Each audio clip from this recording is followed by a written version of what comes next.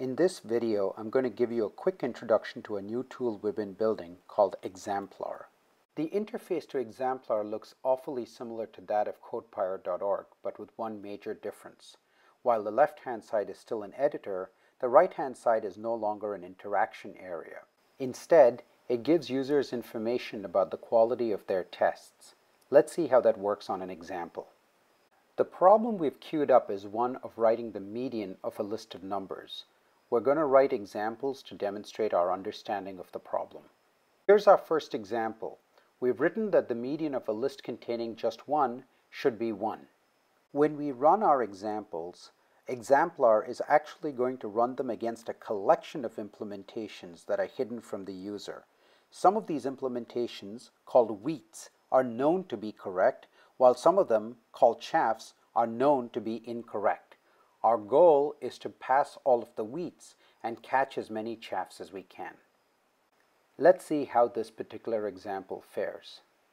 The output Examplar gives us is that both the wheats accepted this example, but none of the chaffs were caught by it.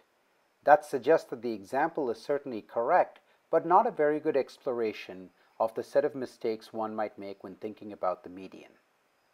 So it's time to add a few more examples. Now the median is a tricky problem. People disagree about what should happen when given an even length list. There are some, for instance, who feel that the median must always be an element of the list itself. Let's try that. Let's say that given an even length list, the median is the element to the left of the middle of the list. This is exactly the kind of information that a problem might fail to specify clearly enough or that a student might misunderstand and only discover when they get a low grade on the assignment. In contrast, Examplar immediately tells us that this is not consistent with the problem definition before we've written any code at all and perhaps even helping us avoid a bunch of mistakes when we eventually write the code.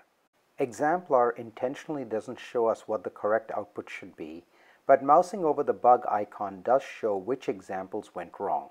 In this way, we discover that in our problem, the median is defined as the average of the two middle elements. Observe that in this process, we also seem to have caught one of the chaffs, that is, found one of the buggy implementations to be incorrect. Here's another example to try. What's the median of the list 132?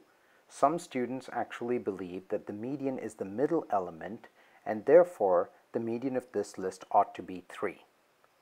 That isn't, of course, how the median is actually defined, and Examplar immediately tells us that. This is starting to look pretty good, so you may not have realized that none of the examples we've written so far distinguish the median from the mean or even a certain definition of the mode. Sure enough, writing an example that distinguishes the median from the mean catches one more chaff, and from the mode catches the remaining one. In fact, Research shows that students will inadvertently solve a similar sounding problem that they have seen before. Therefore, including solutions to those problems as chaffs will help make sure students don't make that mistake.